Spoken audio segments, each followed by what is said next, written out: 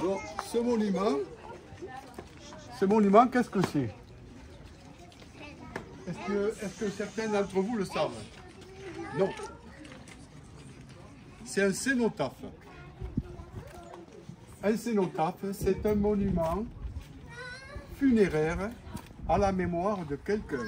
C'est-à-dire qu'il n'y a pas de corps à l'intérieur. C'est très important. Un mausolée, il y a encore, il y a encore à l'intérieur. Un cénotaphe, non, c'est à la mémoire de. Dans le comte de Cambolas, le marquis de Cambolas, le comte, non, le marquis de Cambolas, le dernier marquis de Castellon, on vous en parlera cet après-midi au château. Eh bien, il est enterré à Montauban. C'était quelqu'un de, d'assez assez aimé des gens de Castelnau, parce qu'il faisait le bien autour de lui. On peut dire que c'était un milliardaire, et quand on dit un milliardaire, c'est. Je suis bien en dessous de, Je ne sais pas s'il existe un mot pour dire ça. Donc sa- son épouse a décidé de faire ce monument pour que les gens de Castelnau ne l'oublient pas. Malheureusement, ce monument en pierre blanche et en marbre est très fragile et il est en train de se détruire. Les petits canons que vous voyez là, ce ne sont pas des canons, ce sont des, des lances à eau servaient par exemple dans les ports à Marseille pour, euh, au cas d'un incendie sur un bateau. Voilà. À l'intérieur de, à l'intérieur de ceci, vous avez un monument aux morts.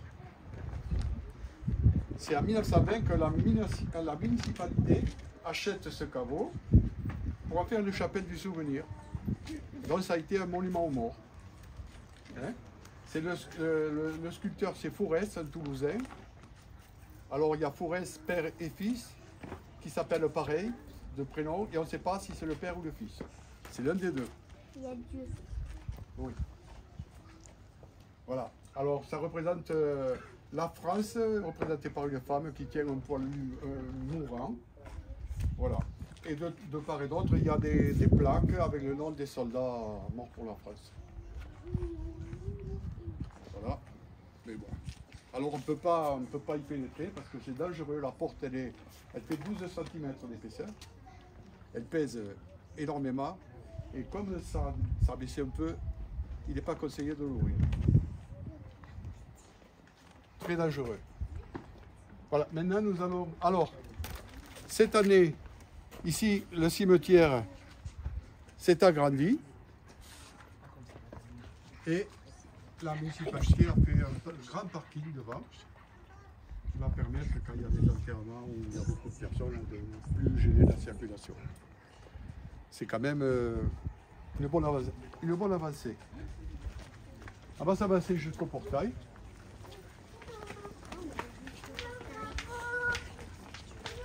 Parce que le portail, c'est par là qu'on sort.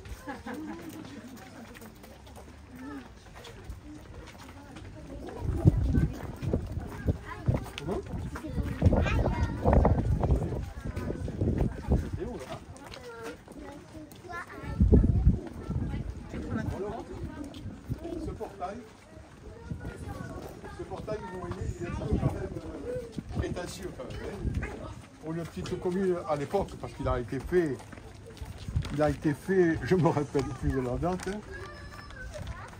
Euh, je vais vous le dire, hein. c'est marqué dessus je pense, mais bon. En 1893, par l'ancien maire.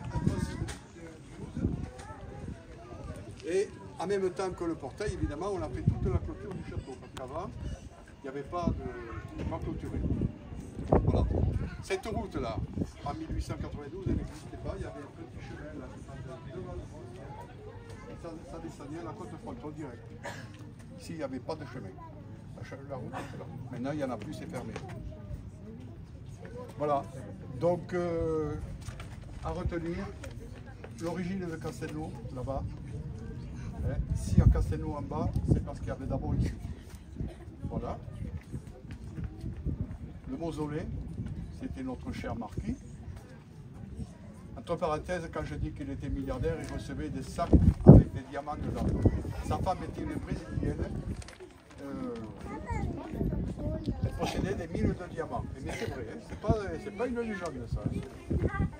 Et donc avec ça, il a fait le château, il a fait plein de choses. Voilà, je vous remercie de votre attention. J'aurais pu vous parler pendant deux ou trois jours, mais le temps nous manque. Merci René.